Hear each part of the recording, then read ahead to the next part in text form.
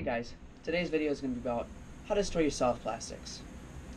I've been so been through so many different ways to store your soft plastics, and I always feel like you get too many, and the old way is just not good enough anymore. So I got like three or four different ideas here that's that have been working for me. So let's just get right into it. Here, I do my bags. This is the way I use right now. It's really efficient. You can keep a lot of baits and just flat. Here we got my drop shots. You can put all your little bags in one sandwich bag here. You can label the bag. And here's like three or four different four different packages and you've seen how flat that was. That goes flat and you can stack all your different baits up. Push all the air out. And it goes so flat you can stack them on top of each other. My Senko that's a little different because I got so many different ones. But I got a bag for craws, drop shots, paddle tails, swim baits, all sorts of different things. Tubes.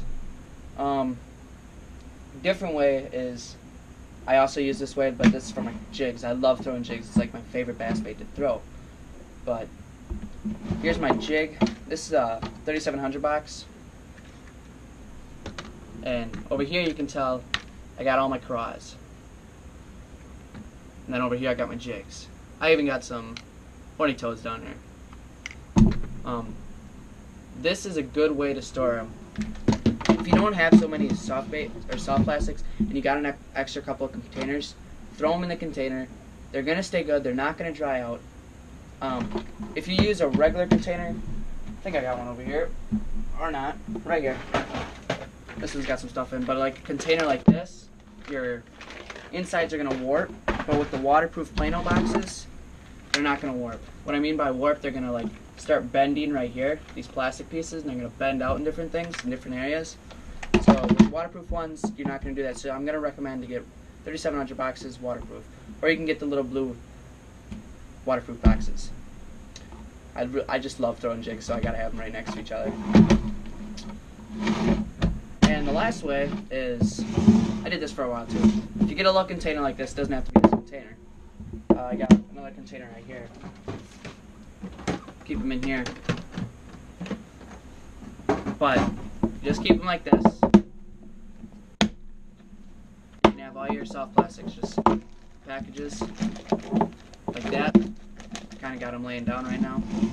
But here you can just sort through pick your bait. It's really nice. Oh, right here. Like you're going through. Oh, needs paddle tails. There you go.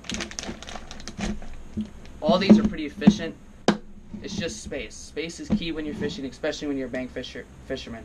You gotta keep it to the low, which if you are a bank fisherman, I would either recommend the bags or put them in your Plano boxes. Because I do a lot of bank fishing, and this gets kind of bad carrying around. I used to have one with a handle, and I'd carry my soft plastics in that, and that was pretty nice. But that's how I would store my soft plastics. There's a little how-to for you guys. Should hopefully be getting out fishing this weekend. The snow should melt. Ice should melt. Hopefully we should have some open water. But thanks for watching. Make sure to like and subscribe. I'll give you guys another view quick of them in case you didn't get it because the camera's kind of angled weird. But Thanks for watching, leave a like, and adios.